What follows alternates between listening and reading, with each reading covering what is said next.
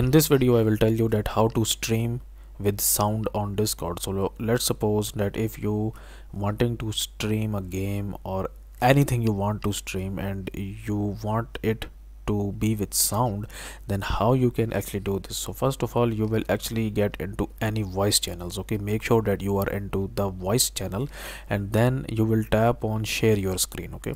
And when you tap on this one make sure that you don't share the screen. You need to share the application. So let's suppose that if you are playing a game then your game will be shown here and then you have to select the game here and then you will tap on the go live button okay?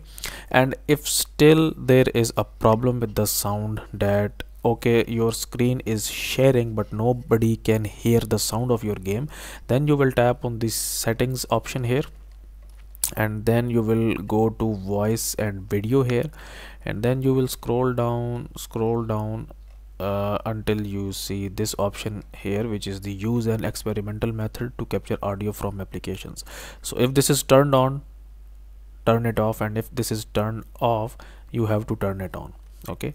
And if still your problem is not fixed i recommend you to uninstall the discord and reboot your system and try reinstalling the discord application because maybe there is a problem with the the discord cache okay?